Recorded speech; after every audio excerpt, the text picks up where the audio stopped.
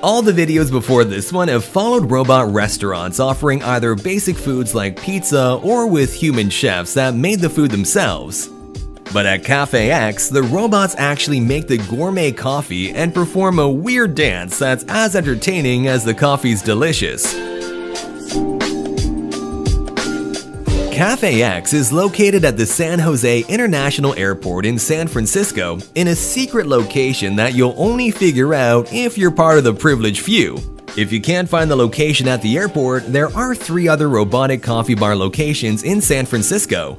And these machines have been tested by over 250,000 people in the San Francisco Bay Area since 2017.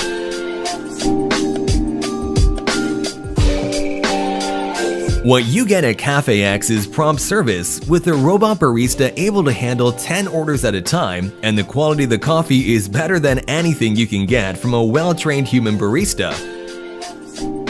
There certainly is a novelty in having your coffee made by a 6-axis robotic arm that produces quality coffee all the time with no errors. When the robot moves the cup, it tilts it a little so it can move quickly without spilling any liquid, which is pretty precise.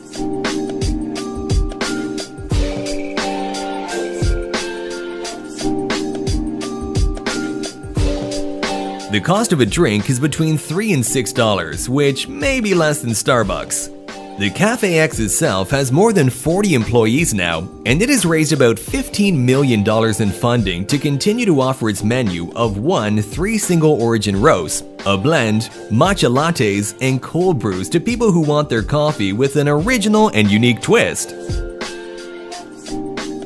The food robotics space is expected to grow at an annual rate of 12.7% from 2019 through 2025, reaching a $3.1 billion market by the middle of the decade.